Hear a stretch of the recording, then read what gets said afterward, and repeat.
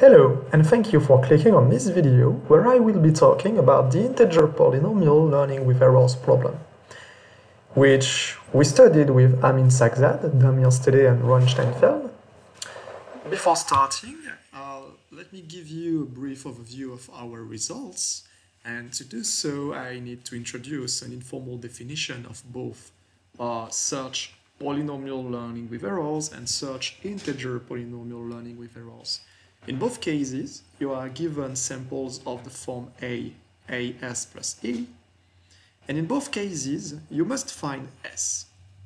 The main difference is that in SPLWE, everything is a polynomial mod F, and is in SIPLWE, what you do is you substitute Q to the unknown X so instead of having polynomials, you now have integers mod f of q because you also substituted q to the unknown x in f.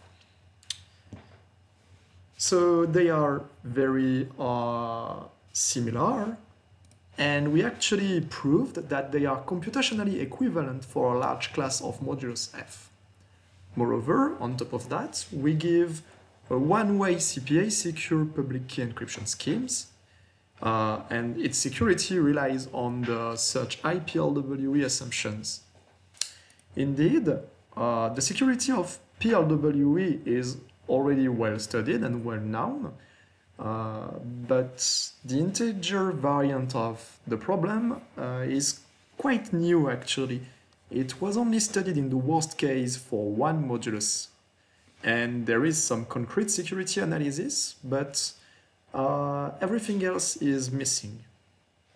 However, a module extension of this problem was considered in one of the uh, second round NIST candidates, uh, which is called ThreeBears, for this polynomial, which, and as such, it's interesting to, to see if it's possible to get the reduction we found uh, notably because it's a way to prove the security of ThreeBears, but it's also uh, a way to, it's also, yeah, we, we paved the way for new uh, crypto systems based on IPLWE instead of PLWE, and it's interesting because you can take advantage of the security of PLWE and at the same time you can use fast large integers arithmetic. In the following 20 minutes uh, I will first formally this time describe the, the problems then we'll see that the difference between them is the carries. I will then state the reduction and explain how the public key encryption works. Before uh, stating the formal definition of the problems, I need to give you two tools. The first one is how to sample Gaussian uh, distribution over polynomials. It's actually uh, done by identifying the polynomial with uh, its coefficient vector, okay? That's the only thing uh, we have to do. Uh, we first introduce the following notation for uh, the following act, act of sampling first the coefficient vector and then turning it into a polynomial. We then need a way to go from polynomials to integers, and to do so, we introduce the polynomial evaluation by first stating that if I have a polynomial with coefficients in minus q over 2, q over 2, I simply uh, substitute q to the unknown x, and I get an integer in z. To extend it to zqx, what we need to do is take representatives of the coefficients of uh, the polynomial in minus q over 2, q over 2, and apply this recipe. Then, if I want to extend it to zqx over f, I simply take a representative of the polynomial which has degree strictly less than f, and then I apply the previous recipes to compute its evaluation uh, in Z. Thanks to that, we are now ready to describe the polynomial learning with errors problem. So in all of the following uh, talk, I will be taking Q odd. F will always be x to the m plus 1. but note, note that q can be taken even, it works also, and difference f are available to us too. This is all done in the full paper, but uh, for simplicity, I restrict myself to these two cases. And we also need two Gaussian parameters. Then the PLWE problem is given this kind of samples, uh, compute the secret, where the secret follows a Gaussian distribution. AI is uniformly sampled over polynomials mod f. And EI follows also a Gaussian distribution. It's important to note that uh, sigma prime is different from sigma. Uh, that's necessary for our, our, reduction. However, the standard case is sigma equals sigma prime. So how do we go from there? Uh, well, it's easy to actually reduce the standard case to ours by adding some noise to uh, get a different noise level and secret uh, noise level. To describe a first attempt at IPLWE, at defining IPLWE, we could do the following. Before we take any polynomial, we evaluate it, before we compute the samples, we evaluate each polynomial and we get uh, something mod f of q by applying a mod f of q at the end. This is actually not the right way of doing things because we have more integers than polynomials and this creates a few problems. One of them is, for instance, that the support of the uniform distribution, of the evaluation of the uniform distribution, is not uh, the full set zq to the m plus 1. So it's quite problematic uh, and the right way to do things it's actually to sample AI directly uniformly over ZF of Q and we actually we actually sample one more coefficient for the noise and for the secret until we are in uh, this range which will be used as representative as the representatives range for uh, ZFQ so why do we, and we want to do so for the noise because we want the domain of the noise to be uh, bigger than, well, the, the integer ring. Uh, however, we may have some big rejection probability, so to reduce it, it's actually possible to just sample the first m coefficients and then only add or subtract q to the m with some probability because as soon as we add or subtract 2q to the m, we will always be outside of this range and first rejected. Uh, it's important to note that this is a different noise and secret distribution than the, than the original uh, definition because as I said, we want to get noise over, uh, we want the domain of the noise to be bigger than the whole set uh, ZF of Q. So we've seen how to go from polynomials to integer, but how do we go from integers to polynomial? The idea is to write the q-ary decomposition of integers, but to center the coefficients. Instead of taking uh, coefficients in 0, q minus 1, we take them in minus q over 2, q over 2. Uh, with this definition, we can also decompose negative uh, integers, which is something we want to do. And then the, the, the map phi q is defined as the map which to an integer a maps the polynomial which coefficients whose coefficients are uh, the coefficients of the q-ary decomposition. Not only it has good properties because it's a good it's bijection and its inverse is simply the polynomial evaluation. So this is what we were looking for. However, remember we are working from ZFQ to ZQX over F, so that we do not quite have the right domain. But it's, it will be easy to fix simply by applying mod f of q and mod f reduction uh, wherever needed. This is what we do and we actually set, as I said, uh, this range as the representative range for ZF of Q. So as long as we are able to turn elements of this range into polynomials in ZQX over F, we will consider that we can do it for ZF of Q. And to do it, uh, yeah, as I said, we simply apply a mod F reduction. This is still interesting uh, because if I take any polynomial, first evaluate it mod f of q, and then apply phi qf, I find p back. So this means that phi qf is surjective, the evaluation mod f of q is injective, uh, but we cannot hope to have bijections because phi qf has collisions, notably because we have more integers than polynomials. So it is the right notion, but it's not ideal either. And we will see that it's even less ideal because phi q is not morphism. And phi qf will be even less morphism, if I can say that. Uh, let's take an example. If I compute phi 3 of 2, I get x minus 1. It's 3 minus 1. Phi 3 of 3 is x. Uh, but if I add both polynomials, I get minus x minus 1, because I'm working with 3, but the sum of but the sum should be x squared minus x minus 1.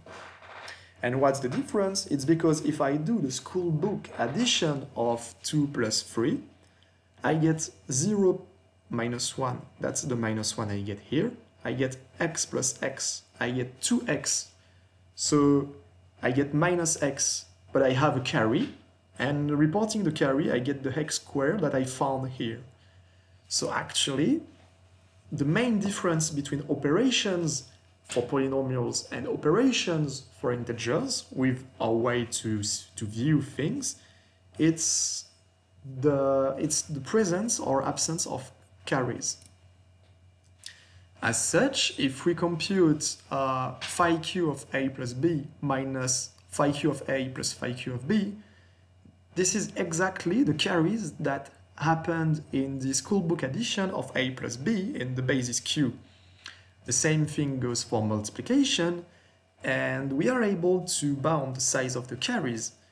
Okay, so it's at most 1 in the case of additions, but in the case of multiplication, we are only able to bound it uh, using the size of A and B, which has some, which brings some trouble. But remember, here we are working uh, from z to zqx, and we want to work mod f of q and mod f. So we define the same thing, but this time with mods wherever needed. And we simply have to go from the following observation. Uh, every time I want to compute a mod, be it polynomial or integer, I just need to add or subtract uh, a certain number of time a certain quantity. So in the end, I'm able to express the, the carries mod f and mod f of q as functions of the previous carries that I had. And all of that, so yeah, for instance, if I want to compute phi q of a plus b mod q to the m plus 1 mod x to the m plus 1, then I have two addition carries because I have at most two additions, two integer additions, a plus b, and then mm, plus or minus q to the m plus 1. And then I have a few addition, subtraction or subtraction or of q to the m plus 1. In the end, we found the following bounds on the carries. And yeah, as before, it's constant for additions and dependent on the size of a and b for multiplication. And if I take a uniform, which will be happening in uh, the SI PLWE problem, then the second bound uh, can be expressed on depending on the size of b solely, and that's why we need a small PLWE pro, uh, secret we want this bound to be useful. With that said, uh, we are almost ready to state our reductions.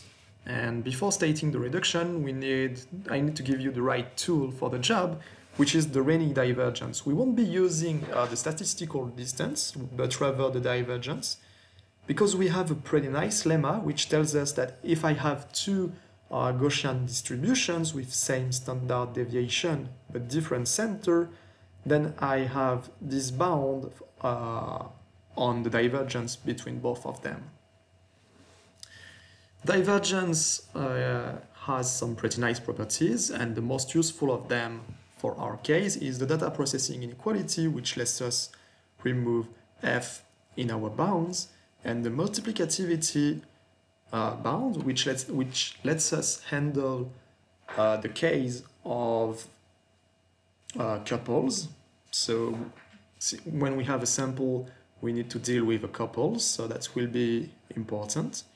And finally, the most important one is the probability preservation, because it states that if E is an event, for instance, an adversary A wins a certain game, then I can lower bound the probability of it happening under Q with the probability of it happening under P and the Renyi divergence. So as long as divergence is polynomial, we have a security we can have a security reduction. And it's easier to have this quantity polynomial than uh, if we use the statistical distance. So to give you the intuition of the reductions, uh, let us first take a look at how we go from polynomials to integer. We compute the evaluation in Q for each uh, sample, okay? Uh, and we give it to the SIPLWE solver and we get an answer that we hope is the right answer. And to get from integer to polynomial, as we said, we write as polynomials are integer by applying phi qf on both components of each sample. To give you a, a rough and very high-level reduction analysis, uh, we have the four following points. The first one states that if I evaluate, let's us focus only on this part of the reduction. Uh, if I evaluate my polynomials, it can be seen as an evaluated polynomials time the evaluation of the other polynomial plus some noise, where the noise is uh, the noise we had at the beginning minus the carries that we did not have in the polynomial operations. So uh, we need to check the, the divergence between the distribution of AI of Q and the uniform distribution over the whole set. Uh, it, it should be at most 3. This is the first part. And then uh, we want to apply the previous lemma about uh, the divergence of Gaussian distributions with same uh, standard deviation, and this should give us something like that. And then using multiplicativity, data processing inequality, we should be able to uh, get ourselves out of trouble. But there are two main problems. The first one is that the divergence is defined if and only if we have some support inclusion as here, and that's not the case in this, uh, that's not the case here, so there is one problem first. And the second problem is that the, the offset is actually dependent on the noise we have sampled. So we cannot uh, directly apply the previous lemma. But these are, these are all technical stuff that we took care of in the paper. So it's just to show you that it's a bit more complicated than expected. But in the end, it all works. And we get the following result. Uh, if this quantity is satisfied, then SPLWE with parameters q sigma sigma prime t uh, reduces to the integer version of it with q, sigma, sigma prime, and t as parameters. So it's very interesting because there is no noise growth, no uh, need for bigger noise. This big equation uh, might seem hard to uh, satisfy, but it's actually easy if you set the parameters in this order. First, the number of sepals t, then the degree of the polynomial m, and from this point on, you have to choose uh, the first Gaussian parameter, sigma prime, such that m over sigma prime is small enough. Then you can choose sigma to make this over sigma small enough. And finally, you choose q, uh, big enough when compared to sigma, sigma prime, and the infinite norm of f, depending on what kind of application you have in mind. From that, uh, we also have the reverse, uh, the reverse reduction, and this gives us that both problems are actually equivalent and without any kind of noise grow. So that's pretty interesting, and from this we are able to to propose a public key encryption based on the search version of integer polynomial learning with errors. It's adapted from an already existing scheme, but we use it with integer polynomial learning with errors. And we must add some tweak to recover uh, the randomness used in the encryption. The keygen is pretty simple. We generate an SIPLWE sample and use it as public key and keep the noise and the secret as secret key. Uh, then, to encrypt, we uh, compute the following quantity where the message is t e prime e second. In the following, we will need to assume for correctness that f of q is prime and if that is the case, when we have recovered T, since A, B, and K are all public, it then becomes easy to recover E prime and E second. So the decryption algorithm focuses mainly on recovering T. To do so, we compute C2 minus C1S, and we can see that it is E times T plus K times some stuff. Okay? And what we do is we compute each, com each coefficient of the decomposition of D uh, mod k, and if k times stuff is small enough, um, smaller than q for instance, then it will be erased uh, by this operation, and then d prime will only be able will only be equal to e times t, Hence, to recover t, we compute d prime times e to the minus 1. And then, uh, as we said, it's easy to recover e prime and e second. So not only, uh, so yeah, the, the scheme is correct for f of q prime, k small, and for the following message space, uh, where t, e prime, and e second are small too. And it satisfies the one-way uh, CPA security which states that if I am given a ciphertext for a plain text uh, which I randomly sampled, uh, following the following tail-cutted tail-cut uh, Gaussian distributions, then it's hard to compute the plain text which was used for the encryption. To give you an idea of the proof, uh, we first replace A and B with an evaluated PLWE sample, so these are now polynom evaluated polynomials. Uh, using the decision PLWE assumption, it's indistinguishable from the uniform distribution. B is now is indistinguishable from uniform.